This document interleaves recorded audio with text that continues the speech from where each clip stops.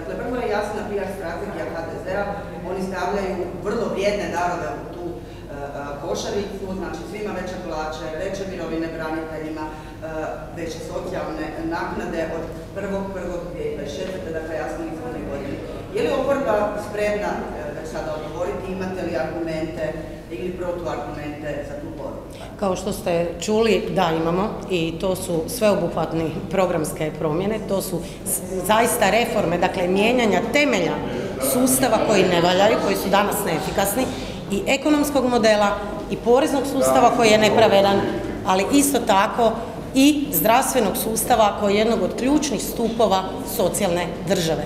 Dakle, temeljite promjene će dovesti do toga da plaća neće rasti 30 eura, što će inflacija do kraja godine već pojesti prije nego ovo stupi na snagu, nego će dovesti do toga da imamo ekonomski model koji generira radna mjesta u kojima se plaće dižu zato jer stalno stvaramo novu dodanu vrijednost.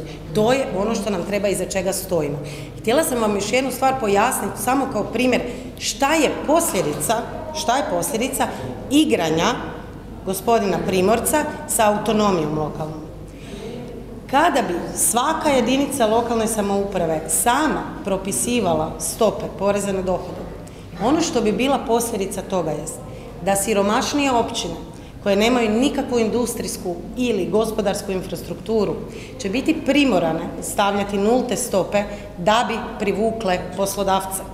A to znači da će njima prihodi biti nikakvi, a eksterni troškovi, primjerice okoliša tako dalje, će im rasti oni će siromašiti dalje, a bogati će se bogatiti više. Odnosno, oni koji nemaju ništa drugo nego se baviti proizvodnjom će siromašiti, a oni koji će imati prihode od imovine i rentijerstva će se bogatiti. To je posljedica te igre, pa bi molila, pitajte gospodina Primorca, da li se slaže da je rezultat te igre E, daljnji rast regionalnih nejednakosti i depopulacija i onako depopuliranih područja.